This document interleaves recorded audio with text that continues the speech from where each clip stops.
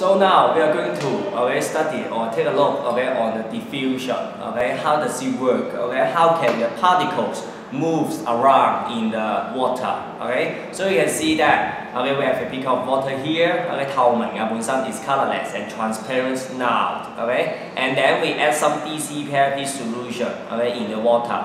Beware of that. Okay. Now we are not going to perform the vitamin C test, that means the DCPIP test, okay? We just want to show that when we add some blue solution, okay, add some dye to the, uh, to the water, okay, how can they move, okay? So, I add it now, so you can see that, okay, the blue color, okay, they move okay, around okay, in the, uh, in the water, okay, in all directions, okay, but not just in one direction, that means to the right or to the left, okay, that means to the upwards, downwards, left, right, okay, they move in all directions, 系乱咁喐嘅，okay, so that's the basic concept, okay, of the movement of substance, okay, and it will be uh, the basic uh, of our diffusion.